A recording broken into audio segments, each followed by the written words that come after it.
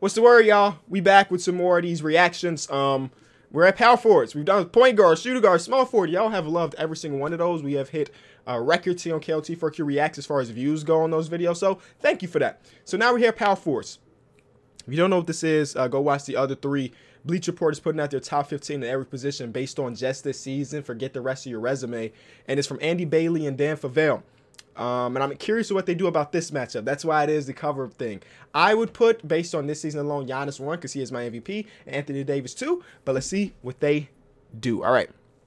Starting off with 15 through 11. PJ Tucker, Jaren Jackson. Wait. Why is Tucker... Hmm. Why did they do it this way? Why is Tucker's name here instead of like here when in reality they got Jaren Jackson at 15? I don't know. So 15 is Jaren Jackson, 14 is John Isaac, 13 is PJ Tucker, Aaron Gordon, and then Tobias Harris at 11. So let's talk this through. Um, yeah, it's, it's just very weird of the wording, unless they just changed it like the last couple seconds ago. Um, Jackson's having a very good season. Do not get me wrong. I really like Jaren Jackson's game. I think he's he's poised to be like very, very good in his career. He is the type of power forward that I would want if I was building a young team going from 2020 to 20 whatever. Defends the defends the rim uh, at a great level. Is able to stretch the floor with his ugly old jump shot, but that thing falls. That's all that really matters. And he's such a team player, seems like. And those are the type of players. There's a reason why one of the reasons why the Memphis Grizzlies are in the bubble and have the eighth seed right now is because of Jaren and um, everything he has done for the organization. At 14, we have John Isaac. Y'all know I'm a huge John Isaac fan. I think he has all defensive player of the year type uh, type tendencies, and maybe one year he will make an all defensive team and potentially win a defensive player of the year.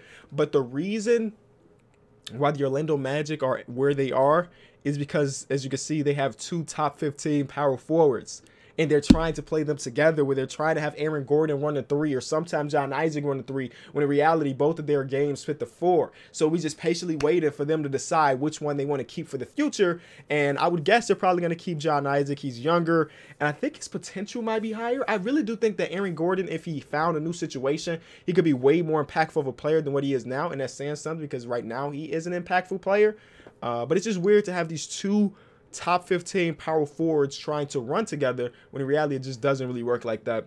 Uh, because neither of their games are catered to the small forward position. Luckily, Jonathan Isaac is so good on the defensive side of the ball that he can guard other small forwards, but it's offensively he is held back uh, just because he ain't got it like that. Future Defensive Player of the Year candidacy is absolutely in play, if not in inevitable, for Isaac. The Magic need to be concerned about his offense, which is true. Um, again, he, he struggled with injuries this season, so he didn't get to play a full season and they said he won't be back for the bubble, unfortunately. But I really love John Isaac's game. Uh, PJ Tucker. PJ Tucker does everything you need him to do on the court. Uh, we found out that I think 99 or 100% of his points are assisted on, so he's just sitting in that corner and shooting it when he gets it. Um, imagine the six six guy, six five guy. I'm sorry, running your center position at times. I love PJ Tucker's game so much so that I have like PJ Tucker merch around my house. Yeah, no, he had like a a clothing brand that like most of the proceeds are gonna go to like fighting COVID nineteen. I was like, I'll support the cause. I bought like three shirts, two hats. Uh, so shout out to PJ Tucker. Actually, no, it wasn't. I mean, it was technically going to the COVID nineteen relief, but it was like for food banks in Houston specifically. So I mean, I was helping Houston out. Uh, next, we have Aaron Gordon. We already talked about when we were talking about Jonathan Isaac. Again, another player that is good, but you would want more from him considering the hype that he had coming out of high school. I remember that mixtape that he has. Like, yeah, that mixtape is nasty, but that's why you don't judge a player off his mixtape. And then Tobias Harris. Like, Tobias Harris is cool. He's always been cool. But you have to think about this contract, 180 million for you to be the 11th? The 11th best small forward or power forward in the league? Just not cutting it. And you could probably make an argument that he's better than this number 10 candidate, and that's Paul Millsap. Either way, I mean, he's just solid. You know what I'm saying? He's underrated, overpaid. And it's possible. Chris Paul is in that in that boat too. Underrated, overpaid. Uh, he'll never. I'm not gonna say never, but he's never really in All Star conversations, even though he teeters around that. Defense is alright sometimes. Uh, okay, that's that's uh, 15 through 11. Then we have Paul Millsap, the glue guy to the Denver Nuggets. I'm very curious what they're going to do about him because if I'm not mistaken, he's up for a new contract this offseason. And again, like I say, he's a glue guy. He's the defense alongside Jokic, who's not a, Jokic's not a bad defender by any means. Um, I think he's underrated defender, but Paul Millsap is the guy that takes that, you know what I'm saying? And in some words, you may say that, hey, they should just slide Michael Porter Jr. to the four next season. But Michael Porter Jr. doesn't have that glue effect just yet. Maybe he will in his career. But Paul Millsap is always going to be a guy teetering around here because he is an impactful player. Number nine, Kevin Love. Kevin Love kind of low on this this season doesn't make sense when you consider where he was like two years ago versus where he is now as far as like his supporting cast. He still put up 17 and 10 rebounds a game, three assists, which is career high. They're letting him play make a little bit more. But you got to think about halfway through the season, he was throwing tantrums with the coaching and and with his young players and stuff. And I don't blame him. I just wish he would have showcase it a little bit differently. You know what I'm saying? And I think he's he said the same thing himself. But we all know that Kevin Love is still a very good player, and we're just waiting for the day that maybe they trade him away to a contender where he can go back and try to compete for championships, or they just keep him on the roster for the remainder of his contract because he did sign an extension like a season or two ago. K Love at nine. At eight, John Collins. I love to see this, man. I love to see this. John Collins, at this point in his career, um, is way ahead of where a lot of people expected him to be. I mean, you saw he was drafted outside of the lottery, basically, and there was a reason for that. But he just came into his rookie season like, you know what? I'm gonna show people that I was worth a lottery pick. And this season he got even better. I love that he has the ability to roll or pop on the pick and roll with Trae Young. I keep seeing articles of people trying to break these two up, and it just doesn't make sense to me. Um, and it, probably because neither of them are elite defensively, and you want probably one of your top two players to be a good defender. But if you put the cast around them, I'm sure you could put together a good team if you just allow them to be themselves, man. Allow them to be themselves. So that's at number eight. Kristaps at number seven is actually surprisingly low. I would have to see who's above him. Um, from the January 31st up to the suspension, though, he was averaging 25 and 11 with three three threes a game. That's the one. That's the Kristaps that I was expecting um, this entire season, but it took him a while to get there. You got to think about he was coming off like a season of missing basketball. And now he's playing with a whole new cast around him other than what he was in New York. But like, yeah, from January, bro, the man was hooping, hooping. So personally, I'd probably have him a little bit higher, a little bit higher Oh, on the list. And people were trying to talk trash about him because it was Rick Carlisle that was like, we'll never really have him post up because it's not what he's good at. Why would just because he's tall doesn't mean we should automatically throw him in a post if that's not his game type. And people are like, what what are you saying? What are you saying? He's seven three. He should be in a post. When in reality, bro, you play to your skill set. You play to your skill set, and Porzingis' skill set is not on the block. It's out there hitting three threes a game and and doing stuff like that. Next is Gallinari. Shout out to Gallinari, man. I would probably put Porzingis over him, but Gallinari has this thing that as long as Gallinari can stay healthy, he's going to contribute to winning basketball. Every every time when he played for that Denver Nuggets team, remember they won 50 57 games. Surprisingly, Gallinari was healthy that season. Then he wasn't healthy, then they weren't good. And now he has a healthy season, another healthy season under his belt, and he is contributing to winning basketball. Last season with the Clippers, he was relatively healthy, and that team surprised the world and got to the eighth seed and took a game from the Warriors. So as long as Gallinari is healthy, he contributes to winning basketball, and that's probably why he is number six on their list. Again, I would probably have him a little bit lower than that, but I can understand the thinking because Gallinari can get you buckets. All right, next, number five. Sabonis. Shout out to Sabonis from jumping up so much um, from these years. Um, they got him at number five, and he wasn't all-star this season. Domantas Sabonis' first-time all-star campaign has been a doozy. His basic averages um, might not even do justice to his productivity. Yes, I could agree with that. Uh, he's playing at the pace of, ooh, ooh, Kevin Love from 2013, eh?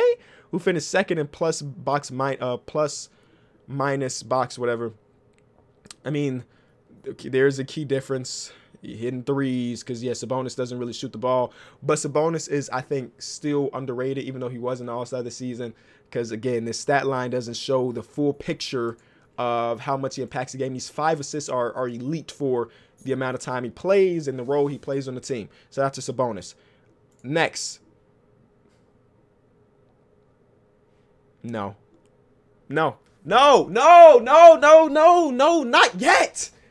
Why do we have this thing of putting these dudes up? Uh, yes, he will be there eventually. What did he play? 18 games so far this year? I can't, bro. I can't. And in those 18 or so, I don't even know. Was it even 18? I don't even know. Was it even 18? I don't even know. I may be giving him a little bit more. In those 565 minutes, yes, he looked great but it was just 565 minutes. I'm sure there has been 565 minutes of Sabonis this season that was elite too, but it's just such a small sample size that I can't have him number four right now. And I love Zion. I love watching him play. I can't wait till the bubble starts, mostly because I want to see Zion hoop again. But it's too early to have him as the fourth over over All Star, over this guy, over this guy. Like, come on, bro. Not yet, not yet, not yet on Zion. I, I I do believe that he will be there next season. He might be here, but in 565 minutes, I can't say it. Uh, their their net points per 100 possessions is 12.2, better when Zion's on the floor. Uh, ranks him in an, oh snap 70 mm, 97 percentile. Hold on, maybe I need to read the article a little bit. And add an estimated 29 wins to a team expect to see over the yeah. So I understand his impact is great so far. You know what I'm saying? I, I just I just would rather have the other guys that's played the entire season, the all stars above him. But again, uh, what what can I say? What can I say?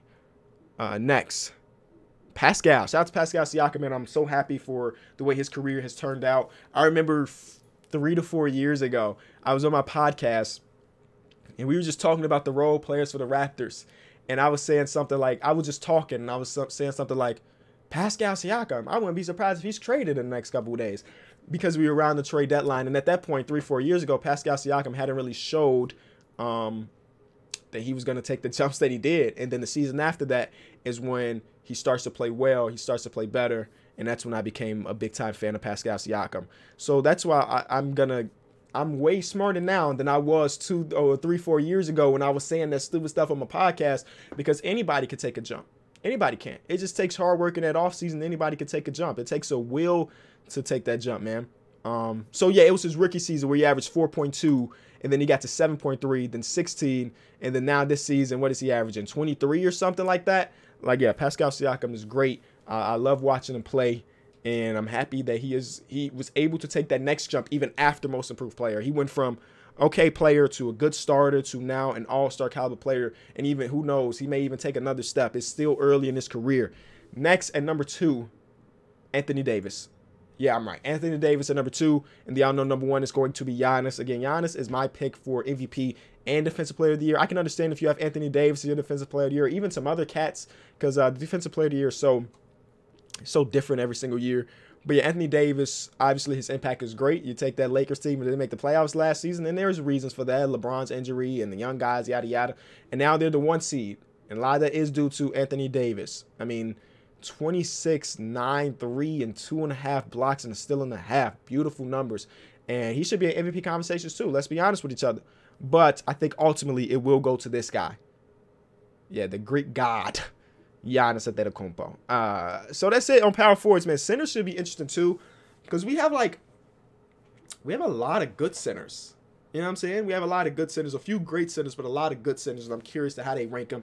Be sure to leave a like on the video. Let me know what you think about this. If you think Zion is where he should be, let me know why. Give me your reasoning why he is good at the fourth best based on this season, not based on potential. All right, I'm out. Peace.